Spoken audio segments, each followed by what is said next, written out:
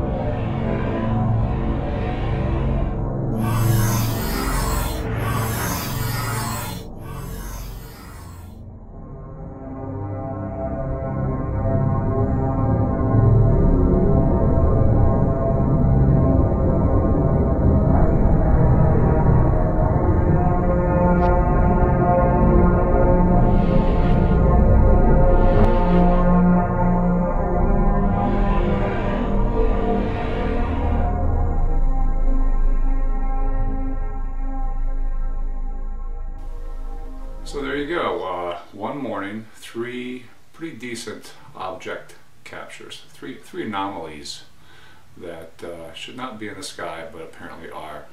Uh, most impressive, in case you didn't notice, was how bright the second flasher was, the purple and yellow one. Uh, compare that to the stars on the right of the screen.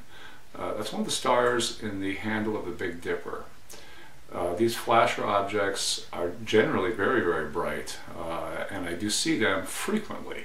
I mean, it happens a lot. Third object, in and out, turns on, turns off, seen it many times too, uh, captured it several times. Uh, I think in this case it's great that I did not have my hand on the tripod trying to wheel around and track this thing through the sky. At least this way I was able to get uh, 15, 20 seconds of good footage while this thing was illuminated. I will be back out there if it's clear. Uh, I've got my heaters all ready to go here. It is getting cold in Northern Ontario, but uh, back on the hunt soon. So until then guys, you take care of each other, stay safe, and uh, Thanks for watching.